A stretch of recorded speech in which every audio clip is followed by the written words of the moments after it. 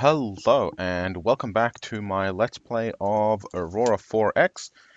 Um, so last episode we had located and crippled two precursor ships in Rockhampton. Um, I've gone ahead and skipped a little bit uh, until the Crete and our squadron of boarding shuttles had arrived and we are now in a position to move in and attempt to capture the two ships. Uh, we have plenty of carrier support as well, so worst case scenario, um, if they're about to break down or if they're in too poor shape, uh, we can always repair them there. So uh, we are going to take the Crete, and we are going to take the Shoalwater, and we are going to uh, move them together to get them into position to um, get some um, get, get in a position to do those boarding ops. So first thing I'm going to do is we're going to head back towards Townsville, uh, to the, towards the Townsville jump point, and we are going to try and spot them, um, uh, so we can get some action. Now, last uh, last check that they were following us to towards that direction, so we'll see what we can find. But initially, we're going to do a slow, we're going to do a slow move, um, and I think before we do anything else, I'm actually going to get um, these guys to uh, just to load ground units up into drop modules. So we have one, two, three, four, five in there so far. Uh, we'll do 57th, that's 6. And 7. That should be the entire wing. And then we'll move them in.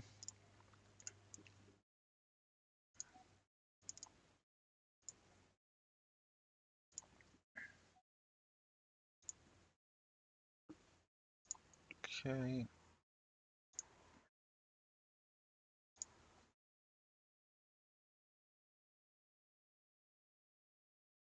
Okay, there we go.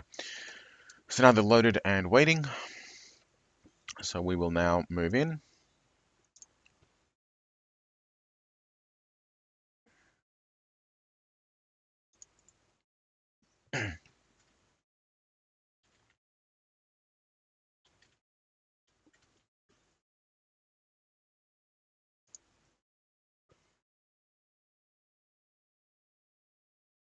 Shoalwater 2, of course, will be remaining um, at... Actually, no, we better bring Shoalwater 2 as well, because Shoalwater 2 does have the other carrier, so we will need it if we um, if we need to um, do like we did with the workers and get those ships on board. The fighters, of course, can fly alongside because they don't uh, they, can, they can survive the uh, um, month or so it'll take to get back home.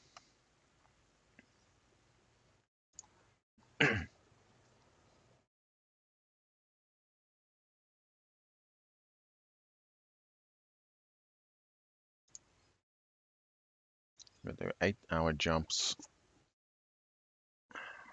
for time being.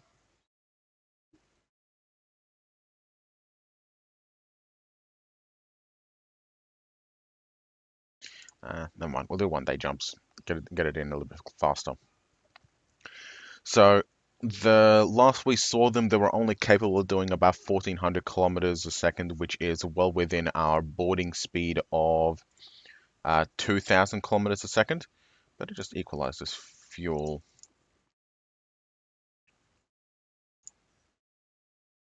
That'll do. Um, which is well within our boarding envelope, so we should not have any problems.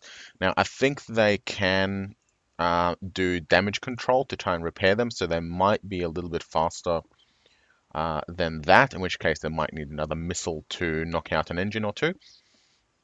Hopefully without destroying the entire ship, but uh, we'll see how we go with that once we actually get them on sensors. So we're moving in closer and closer.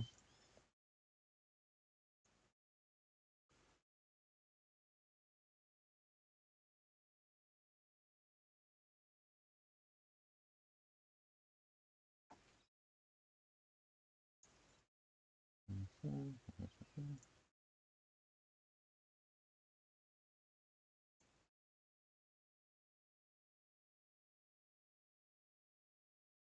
Okay, our jump gate construction is complete, which I believe has.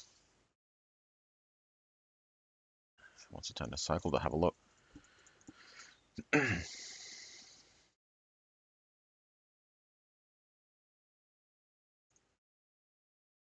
Okay, I believe we had just finished uh, connecting Kalgoorlie to Canberra, so we'll be able to do everything there. Um, we are starting to run low on fuel here. Uh, what we'll do is we will refuel off Shoalwater 2.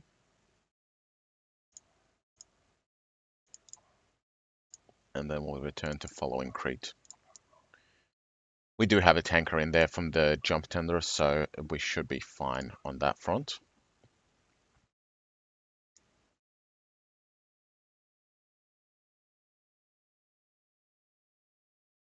There we go. It's not complaining anymore. At least it shouldn't be complaining anymore. Uh, we can also reduce the fuel consumption by reducing the current speed as well, because at the moment they're basically just doing laps around the task groups as they're moving. So if we reduce the speed down to 2200, that should reduce the fuel consumption.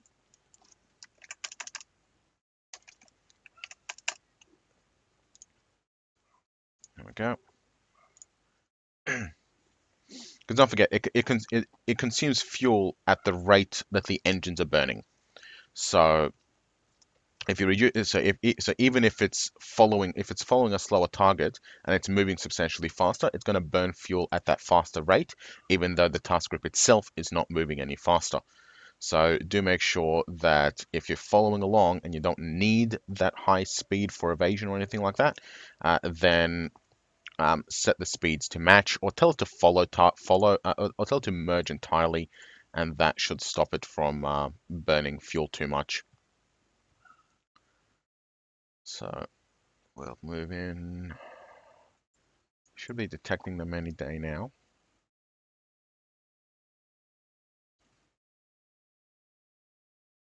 Where are they?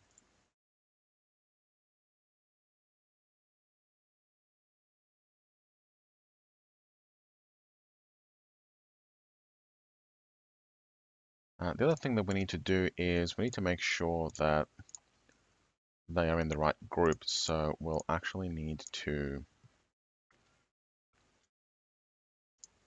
yes, we will. So these guys do need to be transferred to First Fleet. There we go.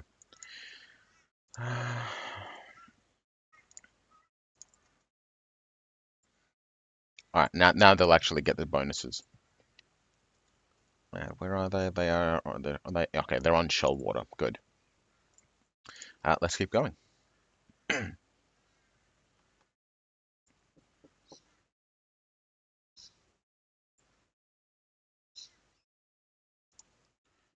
Okay, so they didn't follow us any further. We would have detected them by now, because it has been uh, probably about two weeks since the cut at the end of the last episode. So if they remain where they are, they should be getting picked up probably in the next cycle. There they go. Good. How are they on speed? Have they managed to repair any engines?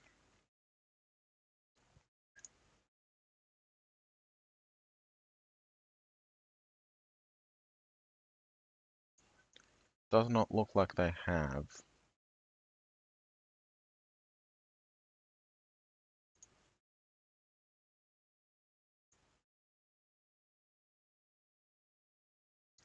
So we'll get a little bit closer. I uh, think that'll do.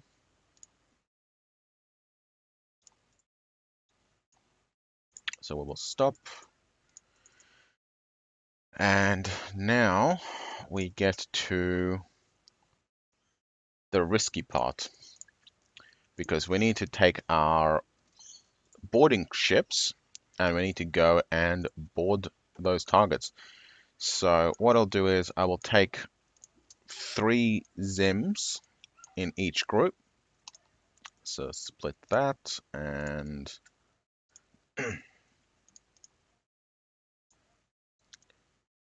uh, split off these. There we go. Uh, each one has a marine company, which is excellent. So we will attempt boarding action by each, by all three. Uh, so that one's going on Cosmic Liberty, so this one needs to go on Rainbow Sky.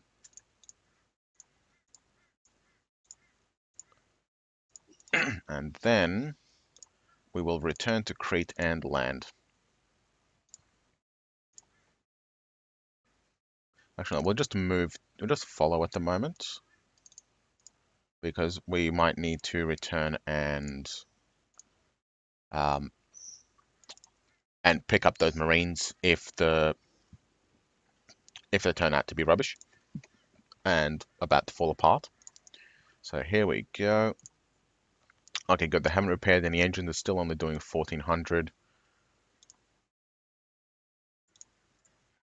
That should be only a little bit off. Water time and distance. Ugh, no, I can't read that.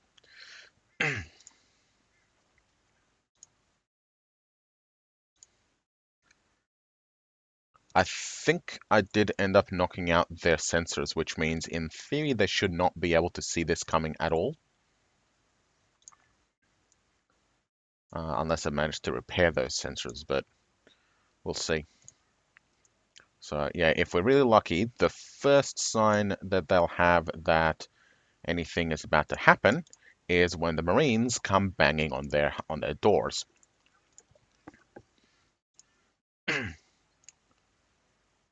Okay, so we're dropping on Rainbow Sky first. What was that? That was probably contact intercept intercepts.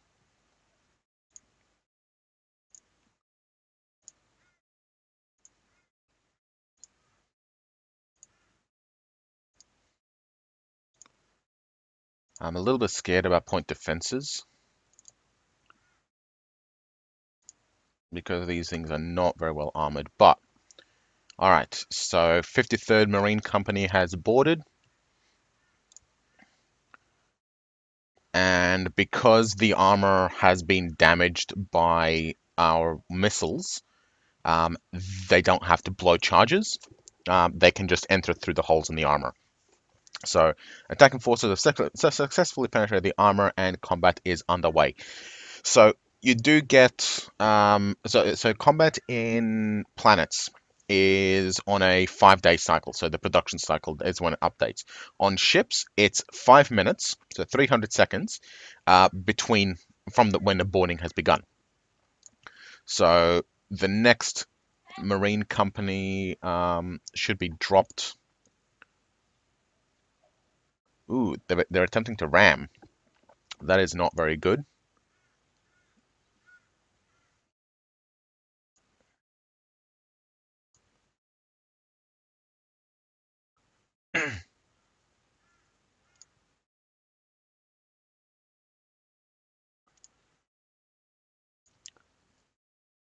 okay.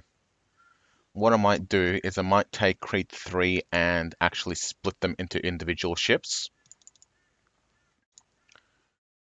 Uh, is there a split? There is, but not where it is. Okay. So, hmm.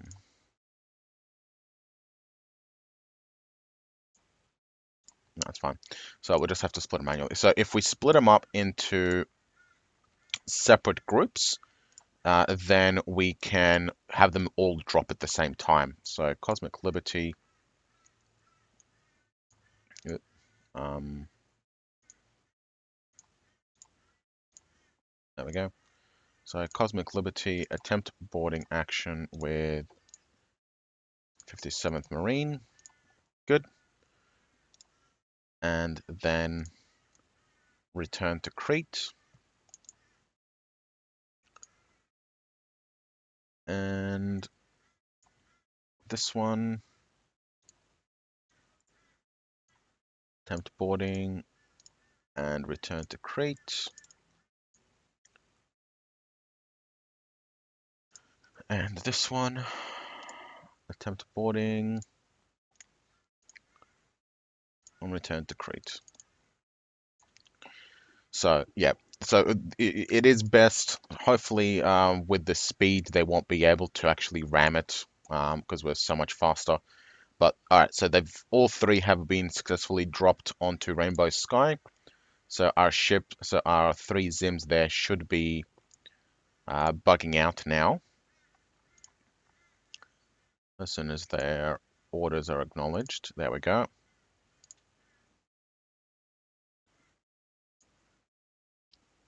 Alright, so now they're bugging out. Yeah, lost the thermal contact, but that's to be expected. Alright, these guys are...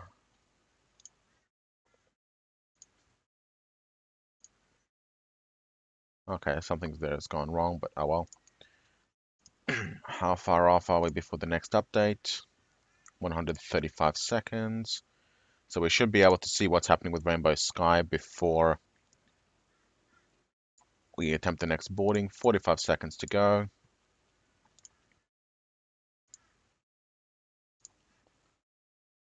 There we go. How are we doing? Attack strength is 14 with a combat ratio of 9.4. So, yep, we are doing really well.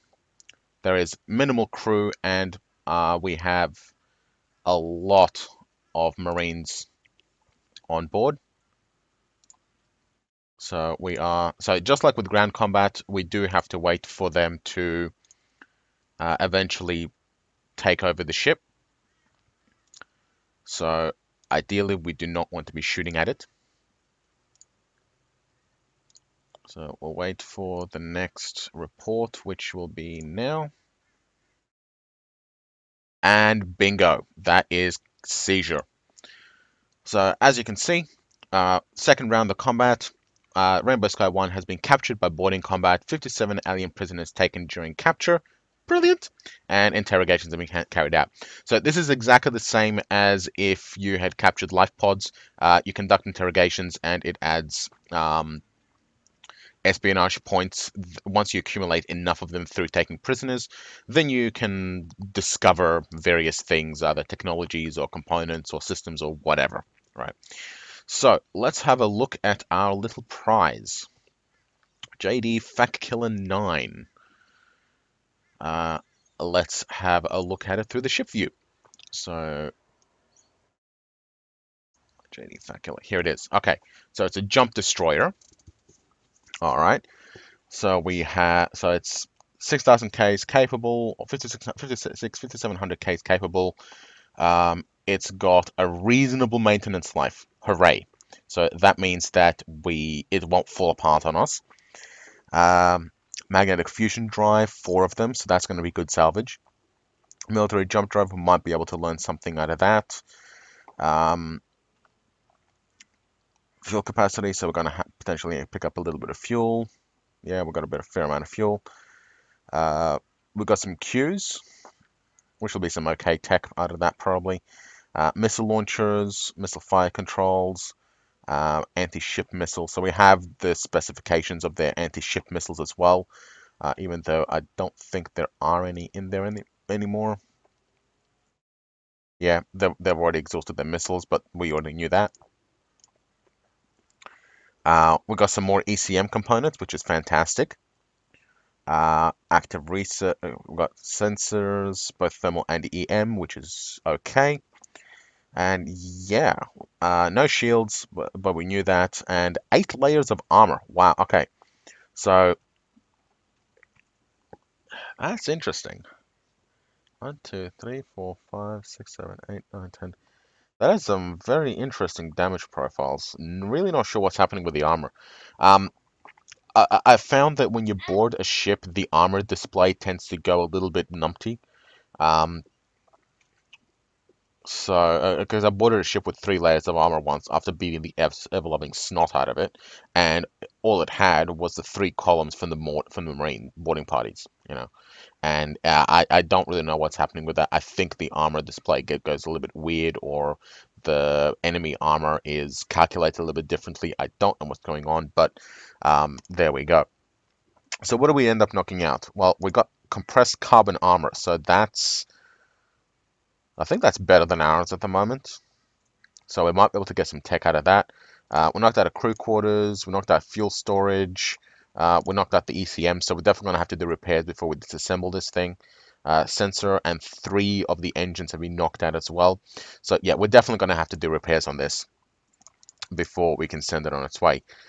Uh, annual failure rate for the current ship is absolutely astronomical though, so I believe that we will send this thing to dock. Um,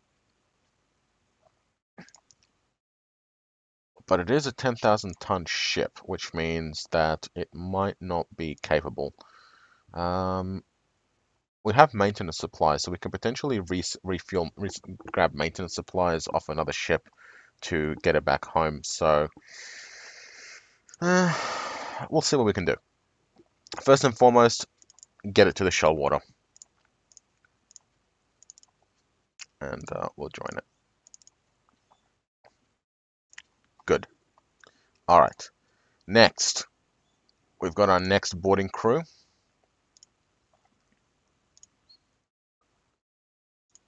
Um, yeah, we've got plenty of spare berths as well, so that'll be fine.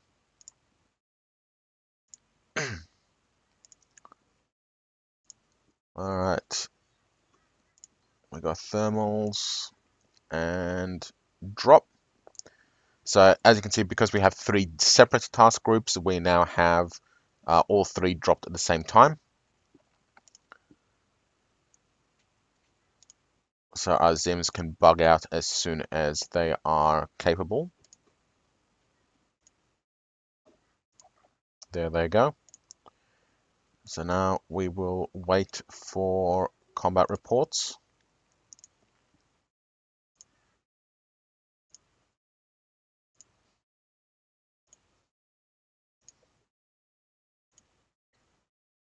Okay, haven't taken it yet. Probably gonna need another combat, another round of reports to actually seize it. Uh, let's have a look at intelligence display at the moment, by the way. So we've got Cairns Aliens, and we've got Rainbow Sky, I think it is. Yeah, Rainbow Sky was the one. What's really annoying is that you don't actually get any actual information out of them. Like, you don't have weapons and sensor data, you don't get anything like that. You don't get the class summary. So, what we might do is for the Rainbow Sky, which we know, we know this one was a Rainbow Sky, we will actually take the class here, and we will add it in here.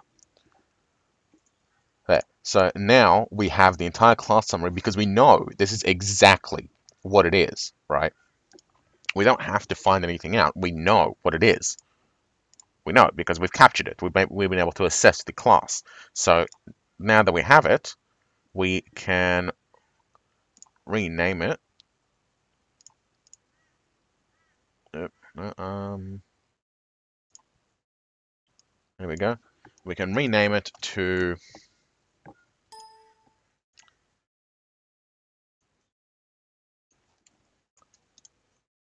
to that.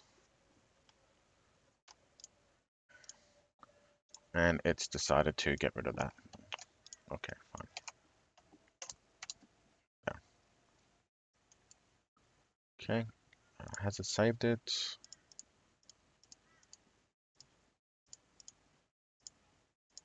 No, it has not. Oh well. Maybe it might it, might it might appear when we actually disassemble it, so we'll see. All right, waiting for capture. There we go. And we've taken another 55. Um, I find that on average you need probably about three to 500, um, uh, three to 500 uh, prisoners per little piece of information. Um, so we we we definitely won't get anything out of these guys, not yet. Uh, Cosmic Liberty 1 has been captured. Which one is it? Uh, we know it's not Fat Killer J.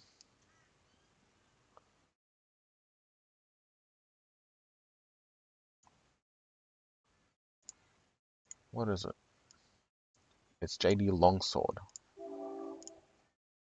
So... JD Longsword. Ah, here we go. Alright, so what's this one? Looks to be about the same. What's the difference? That one's got a little bit extra, tiny little bit extra fuel. And this one has an EM sensor. So the Fat Killer has an EM sensor, and the Longsword has a tiny little bit of extra fuel. Uh, looks like the Longsword also has a longer longer range fire control as well. Um, and the longer longer sensor. So better sensor technology overall, which means we might actually get something out of them. Um, and this one's got an EM sensor as well, so um, not too bad. Not not a bad haul. It's a pretty good haul. We, we should get some decent tech out of them, out of these guys.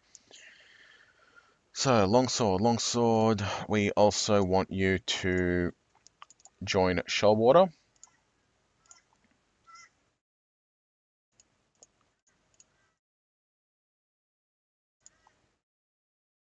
So I'll wait for them to return. Where are they going?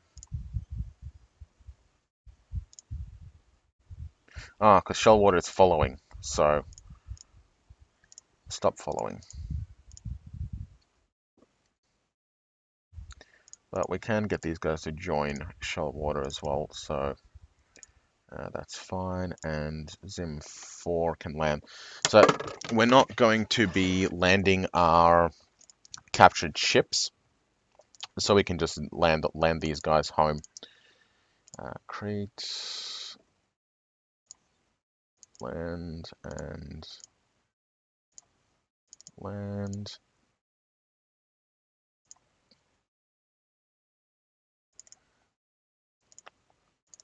Land. Don't follow, just land.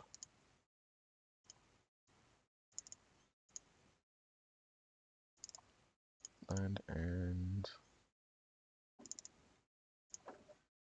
land. Okay, that should have them all land safely. There we go.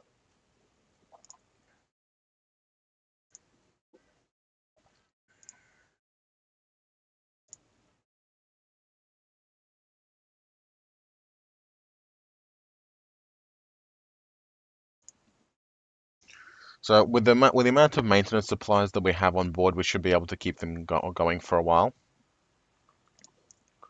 Uh, and that we should be able to return them home. Ah, Shoalwater 2 has... Go join.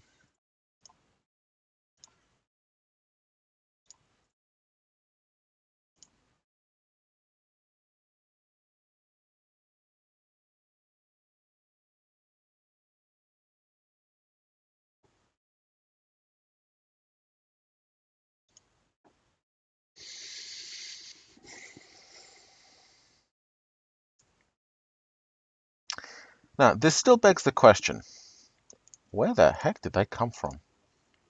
Because they came from they came from around here, right? Um, so we're in Rockhampton, right? They they could have come through Townsville. They obviously didn't come from Sol, but they could have come from Cairns or Townsville. So wherever they're coming from, um, well, obviously it has to be somewhere, unless the game is just basically spawning them on top of us. So we'll have to wait and see um, exactly what happened there. We'll have to just wait for them to arrive. And when they do, we will be able to... Uh, we lost a missile launcher, but that's fine.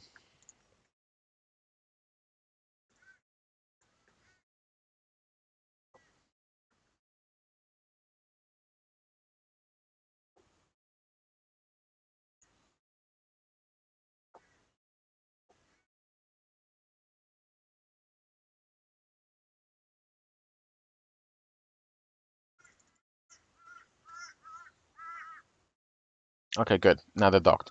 So what we'll do is we will take the Zems and we will load up our six marine companies. Put them back on board. Good. Um, and as for the Shoalwater, uh, we will take the these guys and we are going to begin damage control on our engines. So we need 275 MSP and we have uh, 383 capacity. So we should be able to do all the repairs we need, except for the armor, of course. Um, for this one, once again, we'll do the three uh, engines. We don't care about anything else. Uh, we can do those repairs at the shipyard. We don't want to burn the maintenance supplies. So we need, we do need to transfer across the maintenance supplies though. Here we go. So we will take them from a carrier, which should be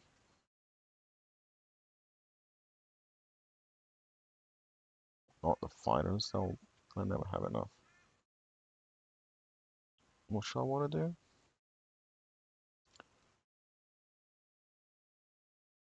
Let's take them from Shoalwater. Okay.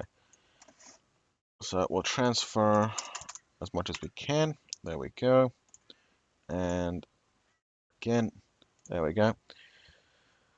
So we'll have to wait for the for Crete to finish repairs. But we have got some engines back up and running now. Uh, we'll go ahead and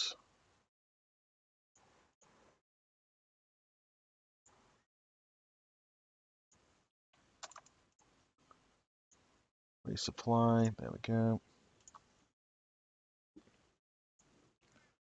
it's going to take a while for uh, things to transfer across the troops, but Fat Killer J has finished repairing an engine.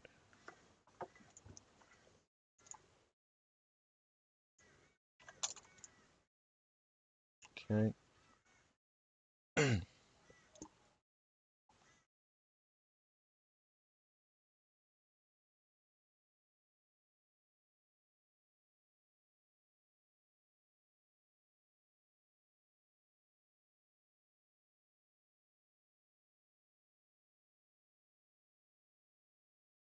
Okay, also let's fix another engine. Uh, yeah, we've got one left to go. So we will take it from this guy. There we go. Uh, better make sure that they're both still repairing. No, they're not. Begin. Okay.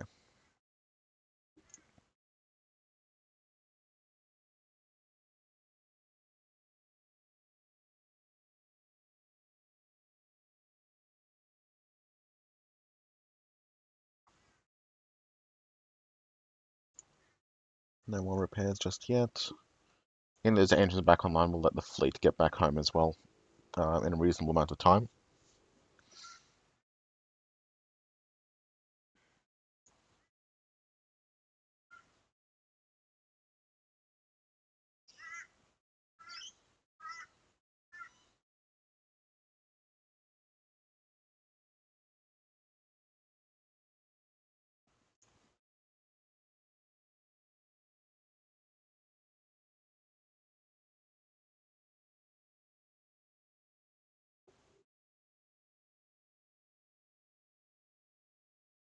Oh, that's going to take them ages.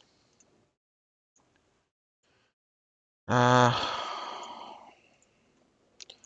what I might do... Oh, hey, we can build these now. That's interesting. That's exploitative. That is very interesting.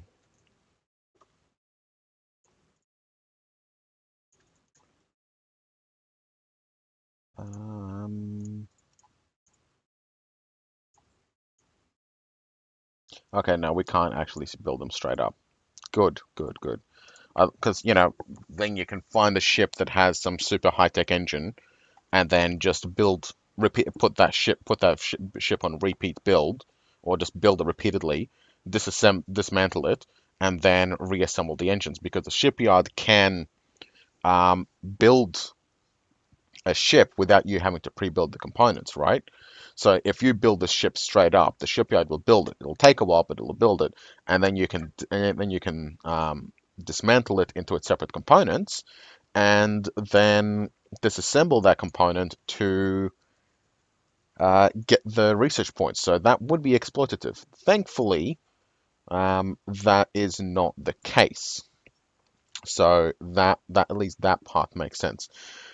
So that should be good for now. Um, it's time's running, time's up, so we'll put a cut. I'll put a cut in the episode here. Um, uh, well, I'll continue. I'll get these patched back up and then head back home, and then from there we will continue on the next episode. So thank you for watching, and I will see you tomorrow.